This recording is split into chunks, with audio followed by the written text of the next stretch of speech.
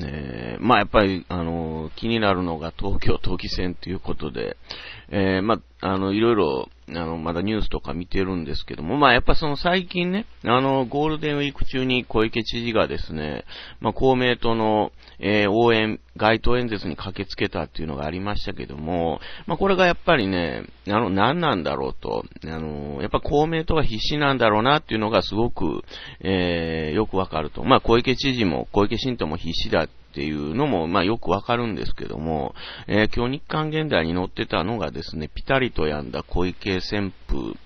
都民ファースト急失速の背景ということで、やっぱその小池新党の人気っていうのが、えー、落ちてるっていうのが、まあ、最近の世論調査ね、日経でもですね、小池新党17%で、えー、自民党が32%っていう支持率が出ててね、まあ、朝日でもですね、えー、投票率が高いとか、全体、え、で見ると、えー、自民党の方が小池新党より支持率が上だと、まあ、いうことが出てたで、まあ、大体それでわかると、うん、だから公明党も小池知事も必死なんだろうなというのがわかるんですけども、まあ、あとあの、選挙プランナーの三浦博さんが、まあ、議席数に書いてて、えー、まあ、それがね、あの、一番、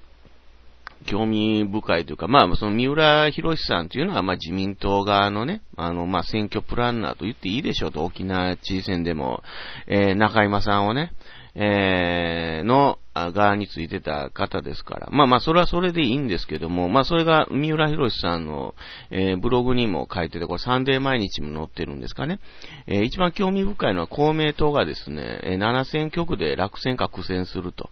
えー、しかもその多くは共産党との再開争いということで、まあこれがね、やっぱ公明党、えー、あの、自民党と手切って、えー、小池新党と今回は、あの、選挙をいる、やるってことなんですけど、まあ、それが、あの、裏目に出てるのかと。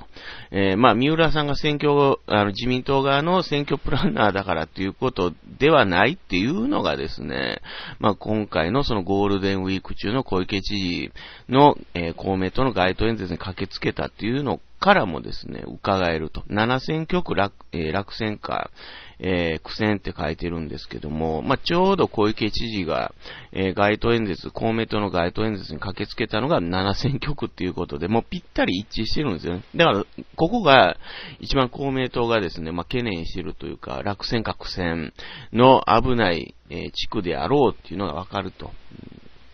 まあ、と公明党新聞を見るとですね、えー、まあ、小池新、小池知事が街頭演説に駆けつけるところっていう二重丸にして、えー、5月の初めにね、あの、カレンダーに書いてる、カレンダーとか記事に書いてるんですけども、まあ、それはどこかというと、えー、北多摩3区、えー、目黒区、中野区、北区、足立区、荒川区、豊島区と、えー、この7選挙区に、えー、小池知事が駆けつけるますよって書いてたんで、だここが危ないとこと、公明党も認識してる危ないとこであるというのがわかるなと。うんまあ本当にね、その、えー、まあ落ちては面白いなと思うんですけども、まあとはいえ公明党っていうのは東京都議選っていうのは、えー、国政選挙並みにね、重要視してる、えー、全国からですね、あの都議選の応援に、えー、学会の信者の方がね、駆けつける、もう超重要選挙、えー、区ですからね、これ東京都議選っていうのはね。いや、だからもう絶対落とせないと。でだからこそ、えー、盛り上がって面白いんじゃないのかなと思うんですけども、だからまあ公明党は公明党のジレンマっていうのがあって、まあ小池新党に乗っかるのはいいんですけども、投票率が上がると、えー、公明党、組織票を持ってる公明党が危うくなるっていうね、そういうジレンマがあるんですよね。投票率が増えると、えー、組織票の威力っていうのが発揮できない、えー、無党派層に埋もれてしまうっていうことで、だからね、難しい選挙なんだろうなというのが想像できると公明党はね。だから7選挙区も、えー、ピンチなんであろうと。いうのがわかるということでね、うん、まあ、三浦さんは、まあ、自民党は激減するけども、46議席で第一党の座検事と、えー、都民ファーストは、えー、44議席で躍進。だから、なんやかんやでも小池新党は伸びるのは伸びるんですよね。で、まあ自民党は、えー、まあ野党に、えー、転落すると第一党は維持したとしてもね、まあ、それは変わらへんと、あの、他の人の、あの、情勢予想っていうかね、うん、まあ、だからこれがね、えー、まあでもやっぱ公明党がね、面白いなとまあ民進党は2議席って書いてるんですけど、公明党は今のままだと16から17と。えー、だから今20、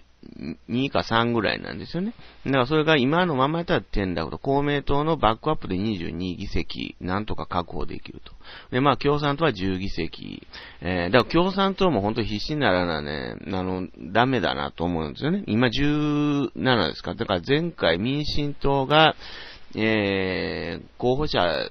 あの、複数立てたから、まあ、共産党が野党第一党ということになったんですけども、まあ、今回はそれが、えー、通用しなくなる可能性が高いと。うん。だから共産党だってその全然安泰じゃないと。えー、いうことが言えると。まあ、生活者ネットは3議席って書いてあるんですけども、まあ、生活者ネットもね、まあ、小池新党に、あの、すり寄ったっていうのもあるので、なんとか生き残りと。まあ、あと維新は、えー、議席ゼロと、ね、いうことが、三浦さんの情勢分析のブログには書いてあると。これサンデー毎日も載ってあるみたいなんですけどね。まあそんなもんかなと。うん、だからやっぱりその、えー、まあ、維新もですね、あの、あ苦しいわなと。だから前回ですらですね、まあ元民主党やった柳瀬さんっていうのが大田区やったんですかね。再開当選ですかね。もうギリギリ当選したっていう形が前回ですらね。うん、だから東京ではやっぱ難しいなという、えー、ことが考えられるかなと。まあだからね、一番興味深いのは公明党ですね。うんまあ、しかも、日刊現代にも書いてあるんですけども、今後小池新党のスキャンダルっていうのがどんどん出てくると。まあ、週刊新潮にも今日、昨日で発売してちょっと載ってるんですかね。まだ確認してないんですけど。いや、これから